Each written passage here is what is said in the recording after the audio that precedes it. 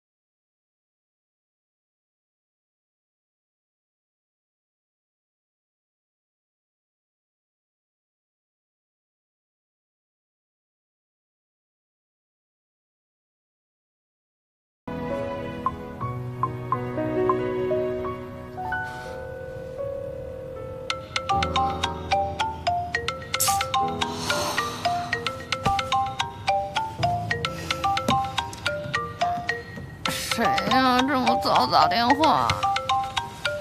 犯罪！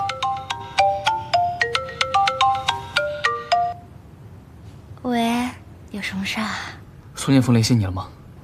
没有啊。啊。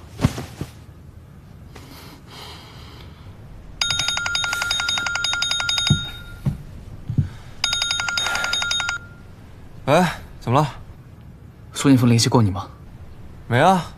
怎么了？小峰出什么事了？爸，我回国了，你别担心。我的情况我很清楚，但那里有对我很重要的人，能被他需要，我好开心。我希望我人生最后的时光能活得更有意义。小峰，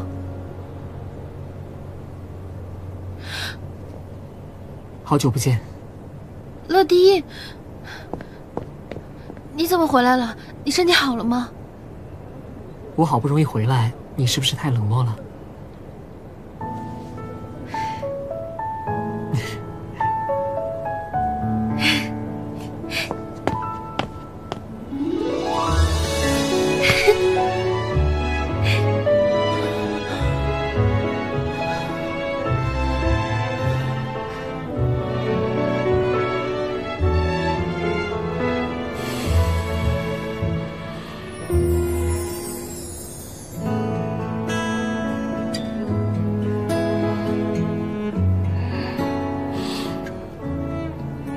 切都很不容易吧？嗯，我都知道。我来让一下啊。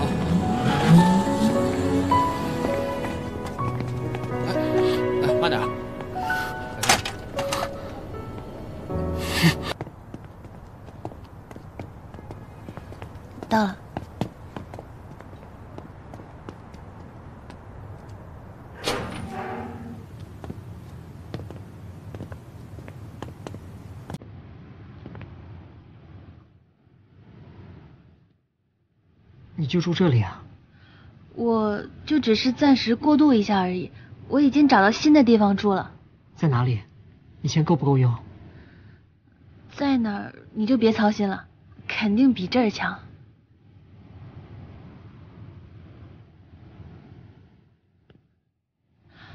哦，我最近没什么胃口，吃泡面比较方便。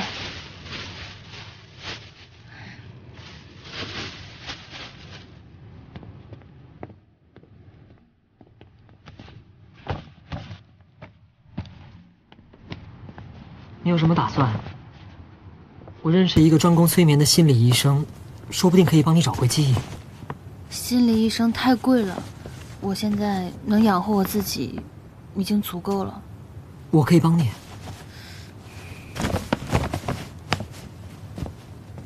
谢了，但我还是想靠我自己。你要是真想帮我的话，就把垃圾扔到门口，然后我们再去找好吃的，给你接风。给我吧，谢谢。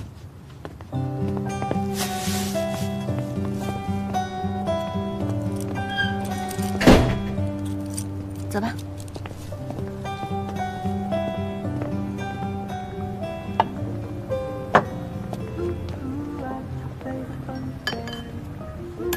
给，试一下，我自己调的。嗯。你吃清汤，我吃辣。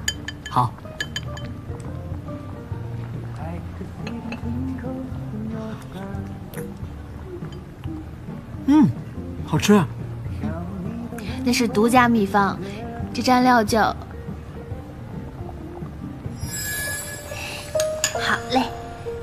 为了防止苏慕云破坏我的蘸料，名字我已经想好了，叫叫毒料。哎，这调料叫什么？没，没什么。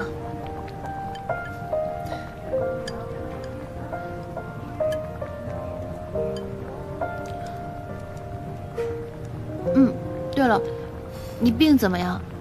刚才问你支支吾吾的。没事啊。大哥，我是学医的，扩张型心肌病怎么可能没事？充血性心力衰竭无法逆转，唯一的办法呢，就是心脏移植。医生说，情况不太乐观，我可能没时间等到心源了。不行，你要回医院继续治疗。就算回去，也不过是心理安慰。